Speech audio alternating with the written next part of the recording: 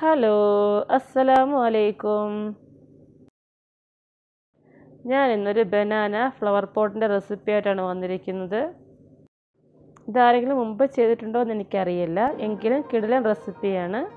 ഇതെങ്ങനെയാണ് തയ്യാറാക്കുന്നത് നമുക്കൊന്ന് കണ്ടു നോക്കാം.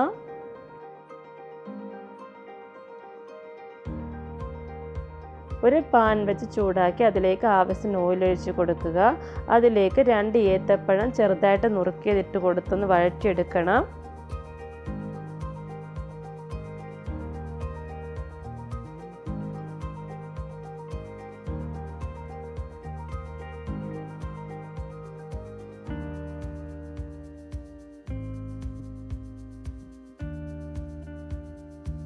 ഇനി ഇതിലേക്ക് ഒരു മുക്കാൽ കപ്പ് പഞ്ചസാര ആഡ് ചെയ്ത് കൊടുക്കാം.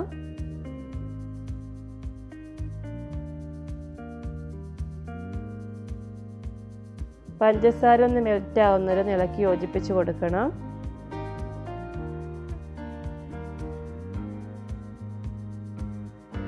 പഞ്ചസാരയെല്ലാം നല്ലതുപോലെ മെൽറ്റായി ഏത്തയ്ക്കായുമായിട്ട് യോജിച്ച് നല്ലതുപോലെ വഴണ്ടി വന്നിട്ടുണ്ട്.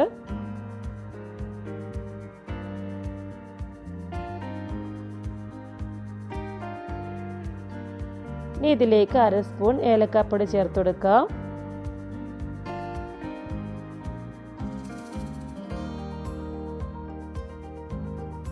നല്ലതുപോലെ ഇളക്കി യോജിപ്പിച്ച് കൊടുക്കുക.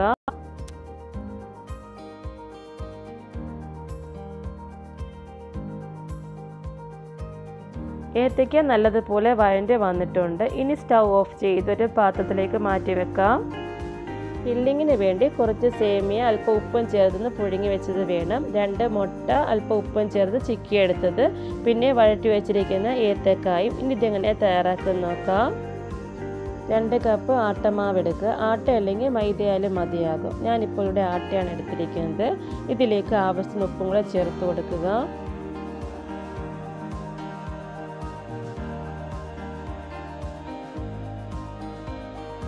ഇതിലേക്ക് കുറച്ച് വെള്ളം ഒഴിച്ച് നല്ലതുപോലെ ഒന്ന് കുഴച്ചെടുക്കണം.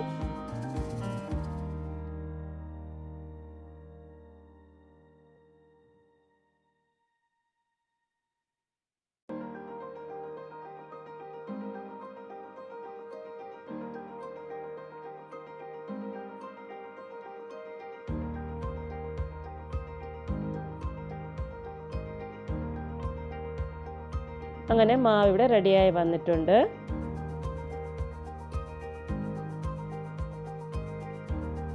ഈ മാവ് റെസ്റ്റ് ചെയ്യാനൊന്നും വെക്കണ്ട. ഒരു കൗണ്ടർ ടോപ്പിൽ കുറച്ച് പൊടിയിട്ട് നല്ല വലുതാക്കി പരത്തിയെടുക്കുക. അതിലേക്ക് ഒരു ചെറിയ മൂടിയോ എന്തെങ്കിലും വെച്ചൊന്ന് റൗണ്ട് ഷേപ്പിലാക്കി എടുക്കണം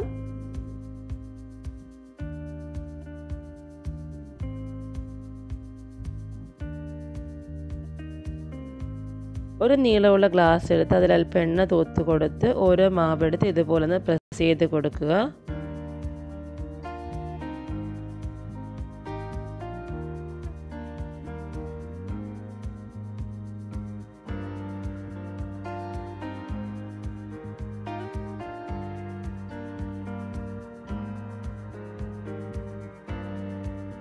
ഒരു ചീനച്ചട്ടി വെച്ച് കൊടുത്ത് അതിൽ ആവശ്യത്തിന് ഓയിൽ ഒഴിച്ച് കൊടുത്തും തിളപ്പിച്ചെടുക്കുക. അതിലേക്ക് ഓരോ ഗ്ലാസ് ആയിട്ട് ഇറക്കി വെച്ച് കൊടുക്കണം.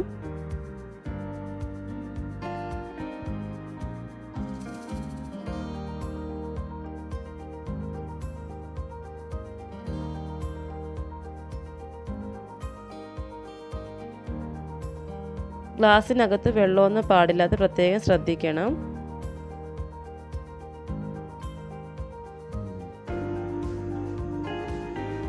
ഇതിനെ മറിച്ചിട്ടൊന്ന് കുക്ക് ചെയ്തെടുക്കാം.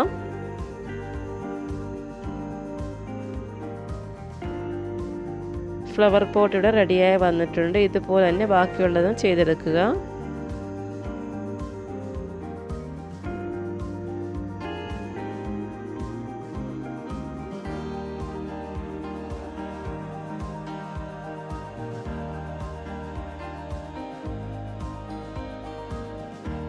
ഇനി ബാസ്ക്കറ്റ് ഫില്ല് ചെയ്യാം. അതിനുവേണ്ടി ആദ്യം അതിലേക്ക് ഏത്തക്ക വഴറ്റി ചേർത്തെടുക്കുക കുറച്ച് സേമി എടുത്ത് വെക്കുക.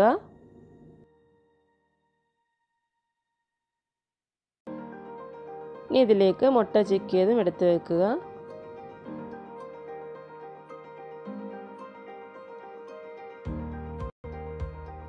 ഇനി ഇതിലേക്ക് കുറച്ച് ഉണക്കമുന്തിരി അല്ലെങ്കിൽ ചെറിയ വെച്ച് അലങ്കരിച്ചെടുക്കാം.